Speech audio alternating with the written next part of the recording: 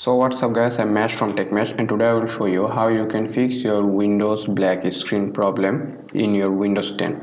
So the problem can occur for two reasons. One is for hardware and another is one for software. For hardware, you have to change your VGA cable or your monitor or any other things and for software I will show you the solution. So just let me show you that as you can see that my device is turned on and it is also charging. So but as you can see there is nothing on the display another problem can occur that is that you will see your display with a cursor mouse cursor and you can move your cursor but there will be nothing. I will provide this videos link on the i button so don't forget to check that out if you are facing that problem so i will not now i will show the solution for this problem. So first of all what you have to do is you have to turn on your pc and then you have to turn off your pc when you see the windows logo. So you have to do it for three times. For my case it was three. For your case it could be three or four. So after third time as you can see mm, i am getting preparing automatic repair. So this is for my case third time and for your it could be fourth. Okay so as you can see it is saying preparing automatic restart so here it is saying diagnosing your pc and here you have to select advanced option. So just select on advanced option and then here select startup settings. Okay? Just select startup settings and here just click on restart and now your pc will restart.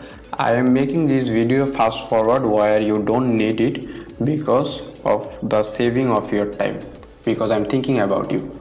So here as you can see there are many options and we have to select enable safe mode. And as you can see it is number 4 as you can see enable safe mode. So for that you have to press F4 on your keyboard. So as you can see I am pressing F4 on my keyboard. So now you have to put your Microsoft account password okay so as you can see i am putting my microsoft account password now. I am in the safe mode and here as you can see in the right top corner as you can see it is saying safe mode.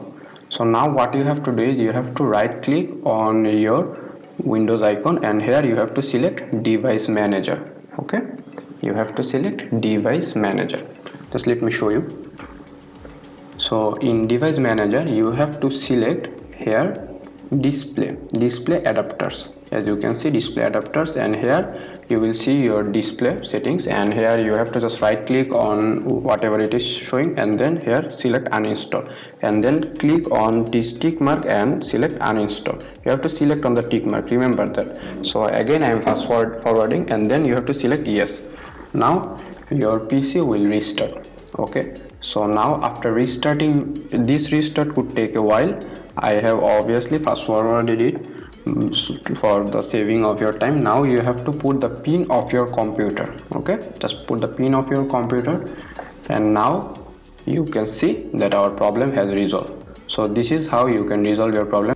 If you are still facing the problem eh, the problem then just follow my another video. And if your problem is resolved then please hit the like button. And just let me know that in the comment section below that if you are facing any problem or if it is fixed or not. And it would be really great help and support for me if you could just subscribe to my channel because you know i'm making videos every day for you guys. So it would be really great help for me okay? So i'm mash from techmash and i am signing out